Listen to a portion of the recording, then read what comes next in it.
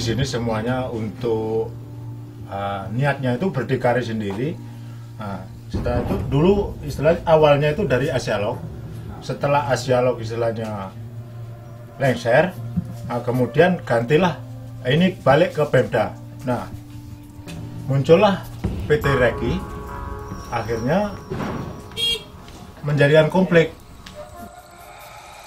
akan memberikan manfaat yang bisa dinikmati oleh masyarakat setempat oleh karena hak konsesi ini hanya dimiliki oleh uh, sebuah perusahaan yang tentu keuntungannya akan mereka nikmati sendiri. Uh, Prince apa, Pangeran Charles itu sempat datang ke wilayahnya PT Regi juga. Oh sempat, betul. Ada. Uh, Bapak tahu nggak kenapa sampai Pangeran Charles datang ke sini untuk melihat itu apa hubungannya dengan PT Regi? Untuk detik saat sekarang kami sebagai masyarakat untuk menggarap hutan di sini tidak tidak ada istilah informasi itu kan. Nah, jadi sampai detik sekarang dari, dari masyarakat di sini juga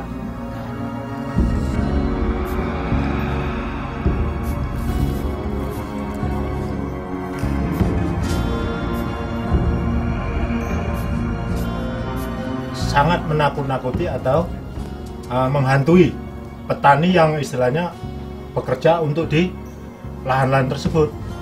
Bahkan terjadilah uh, pernah sekali istilahnya sempat mau demon atau segala macam kan.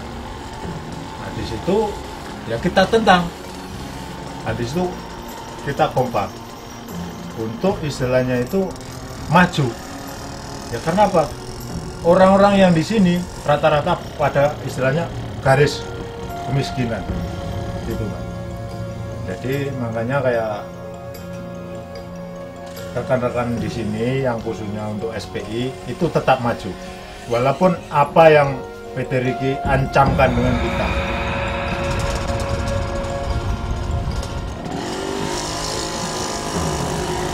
lahan yang sudah diokupasi oleh masyarakat di sini kemudian tidak akan direbut kembali oleh PT Regi karena lebih dahuluan masyarakat di sini menanam mengelola lahan ketimbang PT yang sampai hari ini juga belum aktivitas di lapangan tapi mereka melakukan teror-teror begitu barangkali Iya iya betul betul pak.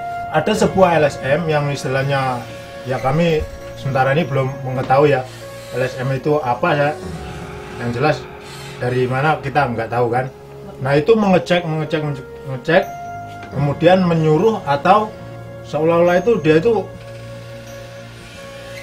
nyuruh maju gitu. Setelah sudah maju istilahnya nah itu didukung sepenuhnya. Nah setelah itu pakai permainan karena istilahnya sudah data-data sudah masuk, nah itu dipergunakan dengan seseorang. Sehingga istilahnya berbalik, berbalik fakta. Yang tadinya istilahnya itu mau dukung masyarakat sehingga karena dipentingkan oleh diri dia sendiri, nah sehingga dia masuk ke PT Reki istilahnya itu eh, pejuang istilahnya ya untuk melaksanakan reclaiming atau apa itu tegak di sana kan? Sebuah Tanjung Mandiri eh, karya mandiri ditangkap dan dimasukkan ke penjara. Nah, selama berapa bulan? Satu tahun persis.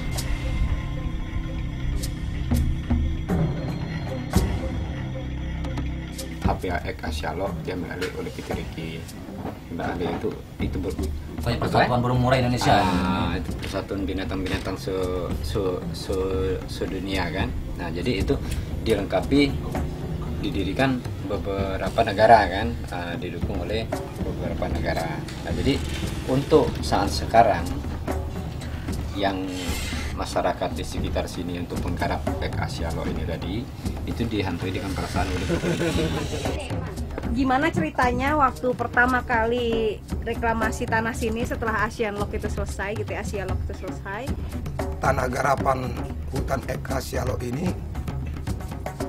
mendambakan putra sat yang memasukkan masyarakat yang hadir di daerah ini. Tapi uh, konflik-konflik yang timbul bagi masyarakat, terutama kami masyarakat yang miskin, masyarakat yang tidak mampu.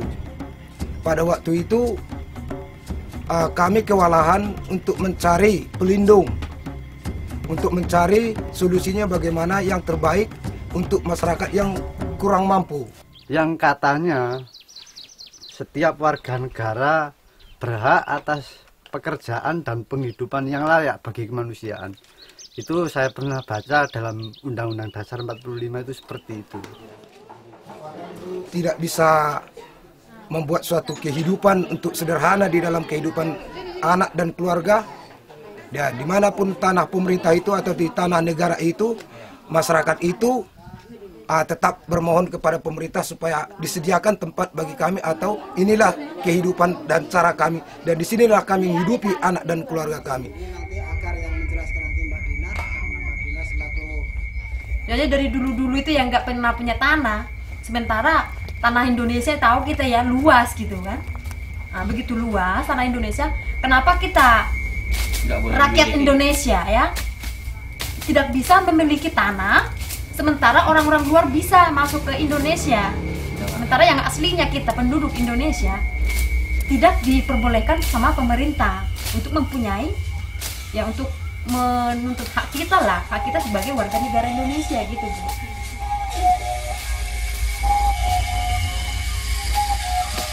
PT Regi itu adalah persekongkolan tiga LSM eh, Yayasan Burung Indonesia, RSPB, kemudian eh, BirdLife Internasional yang mereka katanya konsen terhadap lingkungan yang sebetulnya eh, mereka itu sebetulnya tujuannya adalah carbon trading penjualan gas karbon, gas emisi yang negara barat di sana itu telah mengeluarkan racun-racun merusak ozon eh, bumi kita. Kemudian mereka tetap diperbolehkan mungkin seperti itu di aturan UNFCCC itu uh, dengan catatan mereka merestorasi atau memperbaiki hutan hujan tropis karena diyakini hutan hujan tropis itu uh, bisa menyerap gas karbon Rakyat Indonesia lah ya merasa sedih lah, sedih kita. Sementara kita punya kok nggak bisa kita miliki gitu. Jadi ya kami kalau kami lari dari sini, kalau kami pindah dari sini mau ke mana kami kan? Sementara tempat tinggal kami tuh nggak ada yang jelas. PT Regi ini akan sama dengan di di Manchester apa tuh bukan United di negeri Inggris sana itu imbangannya seperti itu Eh, setahu saya PT Reki hanya akan mendapatkan fee ataupun duit uang dari perusahaan-perusahaan yang merusak lingkungan itu untuk seperti ini bahwa saya dengar informasi ada 280 miliar dana hibah yang akan dibangunkan di sini pada akhir tahun ini. Mereka yang membuat kerusakan bukan kami yang harus bertanggung jawab, tapi kami akan menjaga lingkungan ini dengan tetap menjaga uh, ekonomi kita dan mereka yang merusak uh, alam apa uh, bumi kita mereka mengeluarkan gas kimia dan segala macam itu mereka harus bertanggung jawab. Harus kurangi produksi mereka itu yang telah merusak itu. Jangan kemudian kami dikorbankan. Itu yang saya ketahui dari situ